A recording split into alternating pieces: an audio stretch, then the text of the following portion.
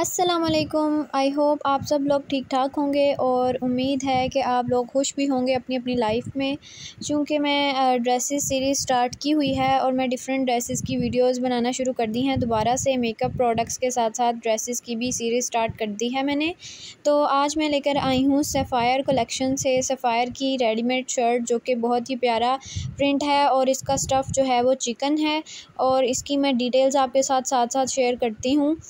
इसके जो बाजू हैं, वो बहुत प्यारा उन पर डिज़ाइन बना हुआ है। आगे वाइट कलर की लेस लगी हुई है और उसके ऊपर इस तरह की ये डिज़ाइन बना हुआ है और बहुत ही प्यारा जो है पहना हुआ बाजू लगते हैं। मैं आपके साथ पिक्चर्स भी शेयर करती हूँ। जी सफ़ायर ब्रांड की अगर थोड़ी सी बात करें तो इसके जो ड्रेसेस होते हैं वो बहुत ही प्यारे होते हैं। कपड़े का स्टफ़ भी बहुत अच्छा होता है और क्वालिटी वाइज भी बहुत अच्छे होते हैं कपड़े इनके।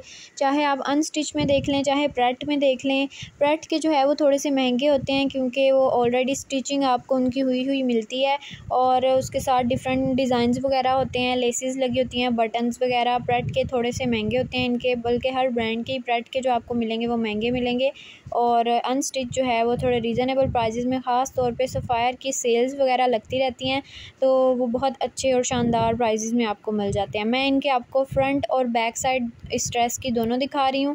फ्रंट पे बहुत प्यारा डिज़ाइन बना हुआ है, आगे पीछे से चिकन का ही स्टफ़ है और बैक साइड बिल्कुल इसकी प्लेन थी और इसका गला भी बहुत खूबसूरत है। इसके गले के ऊपर छोटे छोटे मोती लगे हुए हैं बैन बना हुआ है और जो गले की शेप है वो वी शेप है। इस गले को वी शेप बोलते हैं। बैन वाले गले आजकल बहुत इन हैं।